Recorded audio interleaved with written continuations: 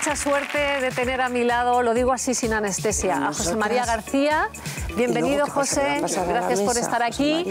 Tengo que decirles, seguramente muchos de ustedes ya lo saben, que se estudia en las facultades de Ciencias de la Información como periodista que creó escuela, que dio paso a una nueva radio que es inventor, es que lo eres, de un lenguaje diferente, de una forma de hacer información, valiente, una persona libre. Joder, debo de ser muy mayor. Y diferente. Debo de ser muy mayor porque con tan, el, elogio debilita y tantos elogios es, Debe ser algo malo, ¿no? Es que ya me ves muy mayor, muy mayor, ¿no? José, yo te veo igual que siempre, por favor. Además es que no cambias, no sé qué haces. ¿No he crecido? ¿No has crecido? Engordar me cuesta mucho mantenerme, pero, estás moreno. ahí estamos. Eh, eh, haces eh, la ventaja De, la ventaja de los jubilados. Bueno, eso sí. Hago, jubilado no, te creo. Eso sí, hago mucho, mucho, mucho deporte. Deporte, ¿no? Esa es la clave. Menos del que debiera y recomiendo tanto a mayores como a menores y fundamentalmente el intermedio que el deporte es vida, el deporte es salud y sobre todo el deporte es una forma de encontrarte a gusto contigo mismo. Otra cosa que hay que decir es que cuando José María estaba en la radio, no tenía tiempo de hacer deporte, José. Porque estabas, y es algo que él me dijo, yo le pregunté, José María, ¿qué hay que hacer para ser José María García, el Super García? Y me dijo, es muy sencillo, dar la luz por la mañana, y apagarla por la noche. Esto que parece tan sencillo, pues significa estar muchas horas ahí sentado y sin poder hacer deporte, José. Yo fíjate que no me arrepiento eh, absolutamente de nada. el único secreto, cuando yo empecé, yo empecé muy joven.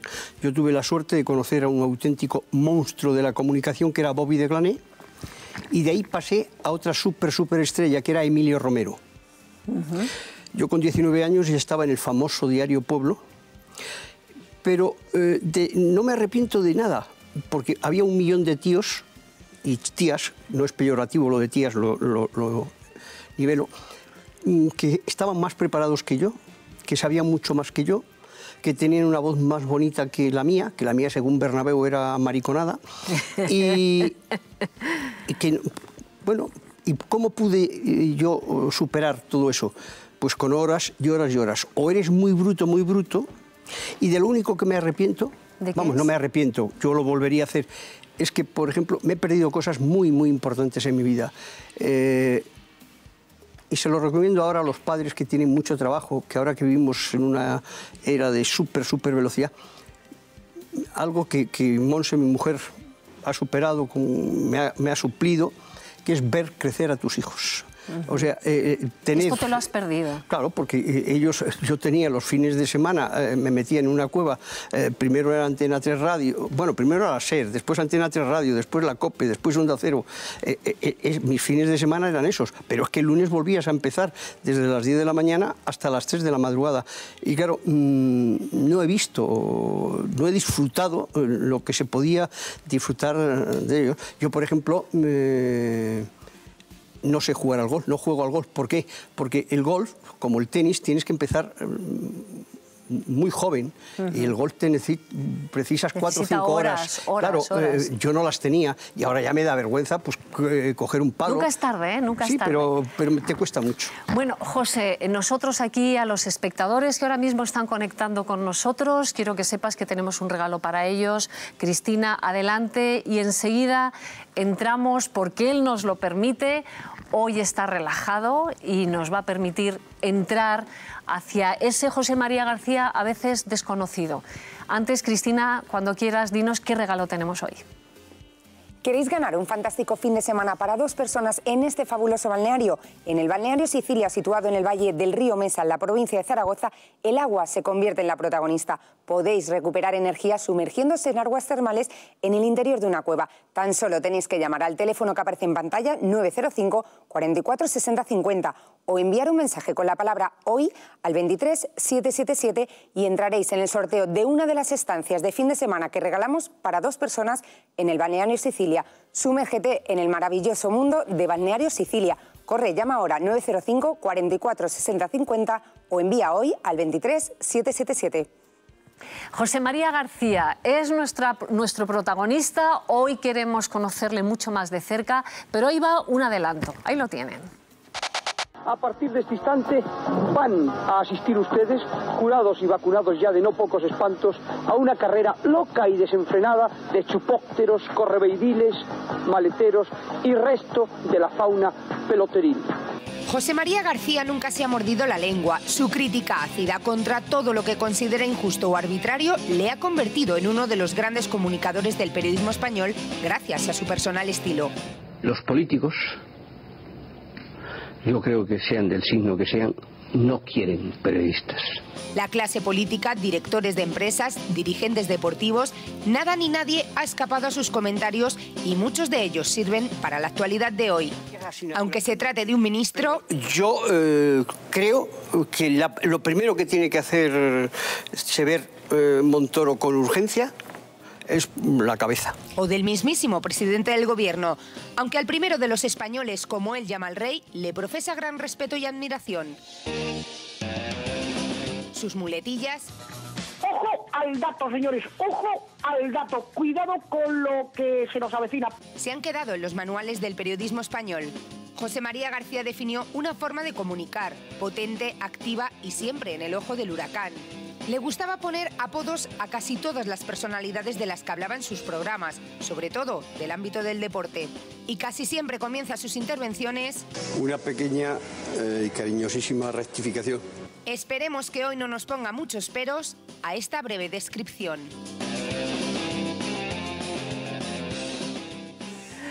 Bueno, José María, antes de nada, ¿en qué momento estás de tu vida? Pues estoy en un momento fenomenal. Estoy muy, muy, muy contento de la evolución de, mis hijos. Mm, estoy feliz con mi mujer, que es lo mejor que me ha pasado en, mi vida. Qué bueno. Y estoy en paz eh, conmigo mismo. Sí es verdad mm, que piensas y dices, yo he sido un privilegiado por muchísimas cosas. Eh, y ahora cuando hay que echar una mano a todo el mundo, eh, me, gustaría, me gustaría ayudar, me gustaría colaborar. Pero mm, es muy complicado.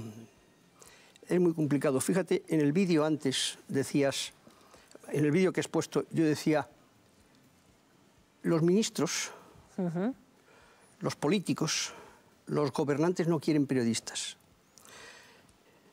Estamos en el siglo XXI. Hace pocos meses, bueno, días, los tres grandes o tres de los más grandes diarios de este país, Diario El País, Diario El Mundo y Diario de la Vanguardia, qué casualidad, qué coincidencia, cambian de director, los tres. Fundamentalmente resulta penoso comprobar cómo el gran periodista de la última parte, las tres últimas décadas y comienzos de este siglo XXI, Pedro J. Ramírez, es cesado. Y utilizo la palabra cesar porque se la he leído a él. Es cesado en el diario El Mundo. Es que la situación económica no iba bien. Vamos a ver, ¿en qué medio de comunicación, excepción hecha de Antena 3 Televisión y Telecinco, que viven en una situación muy bollante porque eh, la 1 no tiene la libertad de la, de la televisión, un medio eso irrentable o está en situación saludable. O sea, que crees que alguien ha movido la mano y ha Efectivamente, hay una decisión, a los tres hay Una, hay una decisión clarísima, una decisión gubernamental. Entonces, eh, ¿qué sucede? Eh, ¿Pero tanto poder tiene Rajoy? Porque entonces estás hablando de Rajoy. Pues sí, pues supongo que tiene eh, tanto poder, Rajoy tiene tanto poder. Yo, de hecho, que, me, que dimití con 60 años yo creo que con 60 años, aunque en España no se, no se valora eh, la experiencia, yo creo que un hombre eh, con 60 años está en plenitud. Yo, yo, estoy ahora, yo tengo 70 años y no me considero ni, ni un carca, ni un acabado, ni muchísimo menos, pero eh, ellos no, no creo que valoren ni la experiencia ni nada. Entonces yo con 60 años me tuve que marchar porque se cruzó en mi camino el mayor censor que ha tenido, desde Franco no he conocido un censor mayor que este. ¿Te refieres a Aznar? El señor Aznar, pero no quiero volver a repetirme. Es que te lo digo porque te he oído... Sí, pero que no quiero volver a repetirme. Yo no le deseo ningún mm, daño ni ningún mal a Aznar. El amigos, ¿no? Antes. Sí, antes. el... Bueno, conocidos él no tiene, él no tiene amigos. Eh... pero creías que eras algo más que conocido. No, no, pero sí, he comprobado ahora que soy conocido. Pero bueno, de todas formas, es torpeza mía, porque a mí amigos míos como, Federico, como Luis Herrero, eh, Federico, eh, Jiménez Los Santos, eh, otra gente dice, te equivocas. Yo dejé la cadena COPE para pasar a lo que habíamos montado en multimedia telefónica. Y tuve la fortuna inmensa de encontrar un fuera de serie que era y es César Alierta.